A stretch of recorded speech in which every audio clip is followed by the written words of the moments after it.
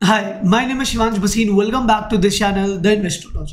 So guys मैं बहुत time से मार्केट के अंदर एंटर नहीं था और मैं यूट्यूब वीडियोस नहीं बना रहा था इसका जो मेन लॉजिक था वो था इंस्टेबिलिटी इंस्टेबिलिटी है मार्केट के अंदर अगर आप निफ्टी या बैंक निफ्टी का डेली टाइम फ्रेम ओपन करके भी देख लोगे तो आप देखोगे हर दिन हम लोग पास्ट एक महीने से गैप डाउन देख रहे हैं। उसके बाद मार्केट बिल्कुल रेंज बाउंड में चले जाता है एंड आफ्टर दैट कोई भी वॉलिटिलिटी नहीं हमें देखने को मिलती है।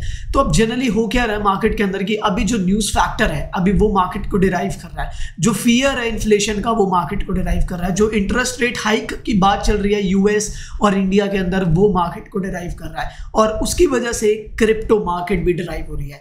अब ये जो जनरली जो सारे फैक्टर्स चल रहे हैं, आप लोगों ने भी ये बात सुनी होगी और आप लोग भी ये बात सोचते होंगे कि अगर इंडियन स्टॉक मार्केट में अगर कोई इम्पैक्ट पड़ता है या वहाँ पर नेगेटिव सेलिंग हमें देखने को मिलती है या वहाँ पर क्रैश देखने को मिलता है तो जैसे हम गोल्ड पे चले जाते हैं सेफ़ साइड के लिए, वैसे हम क्रिप्टोज पे चले जाएँगे। बट एग्जैक्टली exactly अब बिल्कुल उल्टा हो रहा है। अब क्रिप्टोज भी नीचे गिर रहे हैं side by side stock market भी नीचे गिर रहे हैं और दोनों साथ में काम कर रहे हैं। और इसकी वजह से ग्लोबल पैनिक हमें देखने को मिल रहा है। कैसे काम करें? सारी डाटा के साथ मैं आज आप लोगों को दिखाने वाला हूँ कि निफ्टी, बैंक निफ्टी में करना क्या है, क्या अप्रोच हम लोग बना सकते हैं और कौन सा डाटा जो सबसे सिंपल है, वो ड्रिविन कर रहा है मार्केट के इस फॉल को। बात करते हैं इसके अलावा दो स्टॉक्स के बारे में और भी बात करेंगे। चलते हैं अपने ट्रेडिंग सेटअप पे।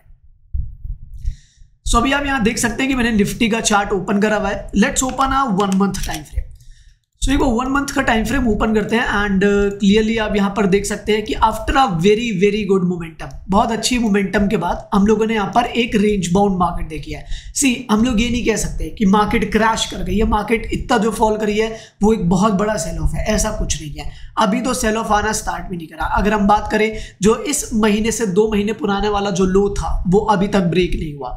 अगर आप यहाँ पर चेक कर सकते हैं दिस इज़ द लो जो मार्च में बना हुआ था एंड इस मार्च का लो अभी तक ब्रेक नहीं हुआ, जो कि fifteen thousand six hundred rupees के आसपास हमें देखने को मिल रहा है। अभी मार्केट बिल्कुल स्टेबल है बट यही है कि ना मार्केट के अंदर ज़्यादा वॉलीटिलिटी देखने को मिल रही है। अगर आप इंडिया विक्स भी देखोगे, वो भी बिल्कुल नहीं बढ़ रहा। जिस तरीके से गैप डाउन हम लोग देख रहे हैं, और उसकी वजह से इंडिया विक्स बहुत ज़्यादा बढ़ जाना चाहिए था बट वो भी नहीं हमें देखने को मिल रहा। इसके अलावा अगर मैं आप लोगों को यूएस थर्टी दिखाता हूँ डाउ जोन्स तो वो भी आप चेक कर सकते हैं। कि किस तरीके से ये भी फॉल कर रहा है। आप यहाँ चेक कर सकते हैं। Let's open a daily time frame अब यहाँ पर चेक कर सकते हैं किस तरीके से हमारा डाउ जोन्स भी फॉल कर रहा है। एक और खास बात अभी हमें पता चली है कि यूएसडी आईएनआर अगर आप चेक करोगे all time high yes guys all time high पे 77 के ऊपर ट्रेड कर रहा है और ये एक सबसे बड़ी प्रॉब्लम है। रुपी बहुत ज़्यादा नीचे गिर चुका है और इसकी वजह से भी ग्लोबल पैनिक हमें देखने को मिल रहा है और इंडिया के लिए ये चीज़ अच्छी नहीं है। अगर हम इसको इग्नोर भी कर दें तो आप लोगों को मैं एक चीज़ और दिखाना चाहूँगा। लेट्स गो टू इंडेक्स यहाँ पर आप चेक कर सकते हैं कि यूएस का टेन ईयर का bond deals all time high पे है। इंडिया का टेन ईयर का बॉन्ड डील्स ऑल हाई पे है। इसके अलावा dollar index yes guys dollar index भी ऑल टाइम पे हाई पे नहीं है बट 2016 पे ये 103 को क्रॉस करा था और अब जाके इसने क्रॉस करा। यस गाइस पाँच साल बाद जाके अब इसने क्रॉस करा है। Let me show you on a monthly time frame आप क्लियरली समझ सकते हैं। Yes yes. अब ये चेक कर सकते हैं, जो 103 का एक हाई क्रिएट हुआ था उसके बाद डायरेक्टली ये 88 तक चला गया था। और अब ये एग्जैक्टली exactly उसको भी पार कर चुका है। तो यानी कि पाँच साल के ऊपर ये जा चुका तो गाइस ये जो फैक्टर्स हम लोगों को देखने को मिल रहे हैं, ये सिंपल एक ही तरफ़ इशारा है, वो है इन्फ्लेशन इन्फ्लेशन है, उसकी वजह से इंटरेस्ट रेट्स को बढ़ाया जा रहा है। बहुत सारी नई पॉलिसीज़ क्रिएट करी जा रही है और वही मार्केट के अंदर एक फियर क्रिएट करके बैठी हुई है। कैसे काम करना है? लेट स्टार्ट चलते हैं एक बार निफ्टी के चार्ट्स पे। अगर निफ्टी के चार्ट पे हम लोग चलते हैं तो बेसिकली हमें पता ये लगाना है कि और कहाँ तक फॉल आ सकती है और किस तरीके की हम लोग स्टेबिलिटी चाहते हैं। See let me open a daily time frame first of all आप यहाँ पर क्लियरली देख सकते हैं। मैं बात कर रहा हूँ फिफ्थ ऑफ़ मार्च से। एक गैप डाउन गैप डाउन उसके बाद एक range bound again gap down again range bound again gap down again range bound gap up gap down gap up gap down gap up again gap down gap down gap down आप check कर रहे हैं कि ये क्या हो रहा है मार्केट के अंदर. एग्जैक्टली यहाँ पर गैप अप कंटिन्यूसली ऊपर गया. Gap up range bound gap up gap up तो मार्केट अभी एग्जैक्टली अनस्टेबल है. यहाँ पर कुछ भी चीज़ डिराइव नहीं कर सकते. टेक्निकल एनालिसिस अभी वर्क नहीं कर। रहा देखिए फ्रैंकली स्पीकिंग मैं टेक्निकल एनालिसिस कुछ सात साल से काम कर रहा हूँ उस पर बट ज़रूरी नहीं है कि मैं एक्सपर्ट हूँ तो मैं सारी चीज़ आप लोगों को बता सकता हूँ। Even I am not sure right now कि मार्केट के अंदर अभी चल क्या रहा है तो मैं इसलिए मार्केट से थोड़ा टाइम से दूर हूँ। बट अब मुझे लग रहा है कि शायद मार्केट कहीं स्टेबल हो सकती है आने वाले एक डेढ़ हफ़्ते के अंदर, और तब हम लोग तैयार हो सकते हैं ट्रेड्स लेने के लिए। Let's open a thirty minutes time ठीक है? First of all fifty minutes time यहाँ पर आप चेक कर सकते हैं कि एग्जैक्टली ये एक लेवल है, जिस लेवल पे अभी एक पॉज हमें देखने को मिला है रिसेंट लो है। ठीक है? यहाँ पर एक लेवल था, मैं let me just draw this level ये फ्राइडे का रेंज है। इस फ्राइडे के रेंज पे जो बेसिकली डिस्कशन ये था कि अगर ये इसके ऊपर जाएगी तो डेफिनेटली वी कैन एक्सपेक्ट कि ये लेवल आ सकता है। बट अगर इसके नीचे जाना स्टार्ट करती है तो we can expect a very good fall exactly इस लेवल पे ओपन हुआ, नीचे गया, इस लेवल पे बेस क्रिएट करा। अगेन ऊपर गया it created a gap filling जो ये गैप था एंड उसके बाद रेंज बाउंड दोबारा हो गया। मार्केट अभी गैप फिलिंग करना स्टार्ट करी है। अब वहाँ पर हम एग्जामिन कर सकते हैं कि किस तरीके से रिएक्ट कर सकती है। From my point of view कोई भी लॉन्ग पोजिशन होल्ड करके मत जाओ। यस आई नो आप लोगों के माइंड में आ रहा होगा कि मार्केट नीचे गिर गई है गैप डाउन हो गया है। कल शायद गैप अप खुल सकती है।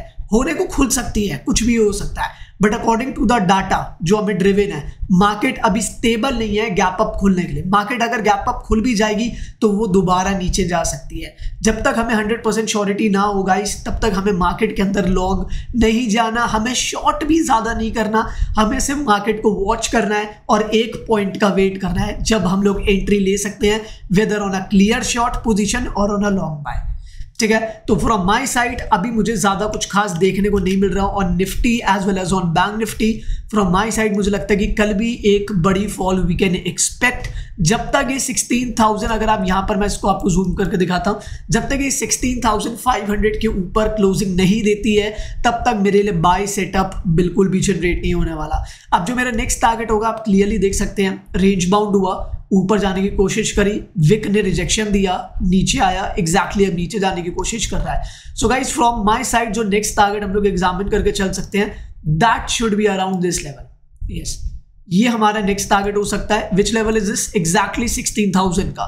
तो यस वी कैन एक्सपेक्ट कि अब सिक्सटीन थाउज़ेंड का लेवल भी आ सकता है, और शायद वहाँ से आप पॉज ले ले और वहाँ पर हम उसके अगले दिन एक गैप अप एग्जामिन कर सकते हैं बट अभी नहीं। बैंक निफ्टी को चेक करते हैं।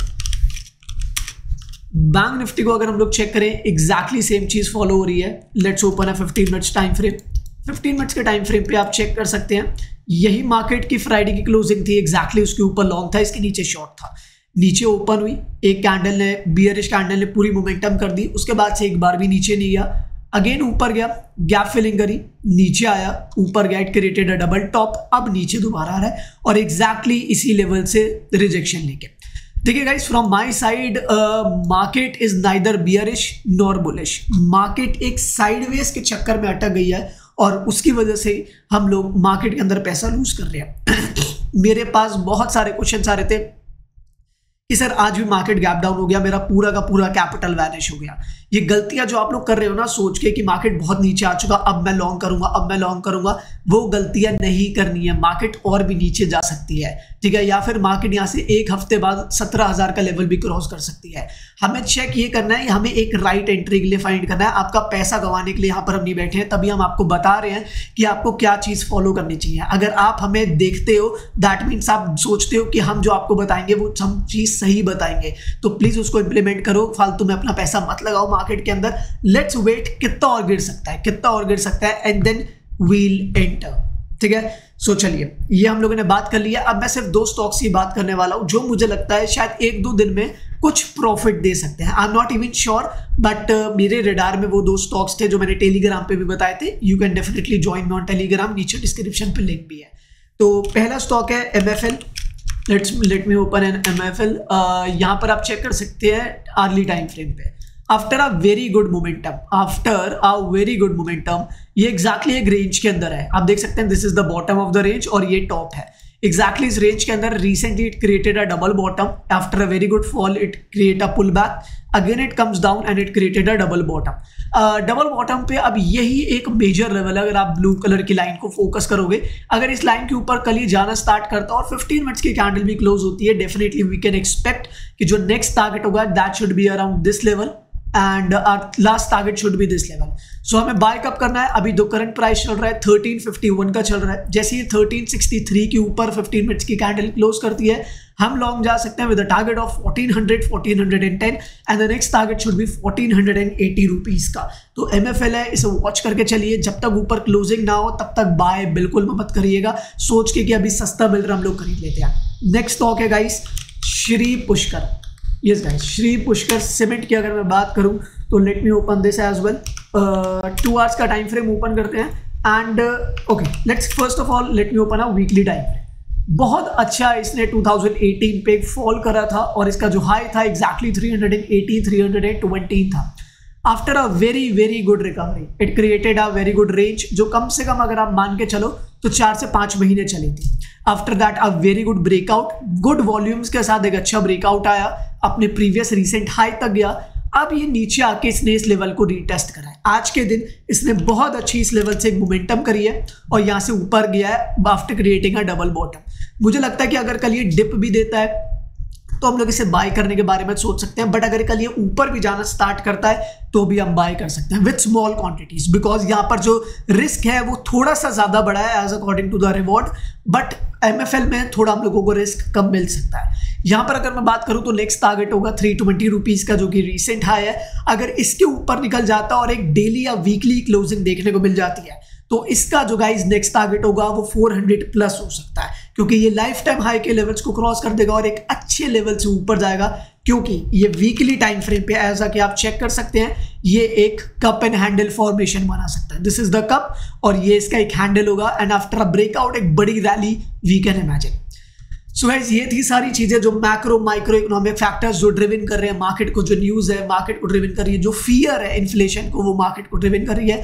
Let me assure you market से थोड़े टाइम दूर रहो लेट मार्केट स्टेबल उसके बाद हम लोग एंटर करेंगे। क्रिप्टोस पे भी सेम चीज़ है let the crypto market get stabilise उसके बाद हम लोग एंटर करेंगे। हमें हर दिन ट्रेड लेने की बिल्कुल भी ज़रूरत नहीं।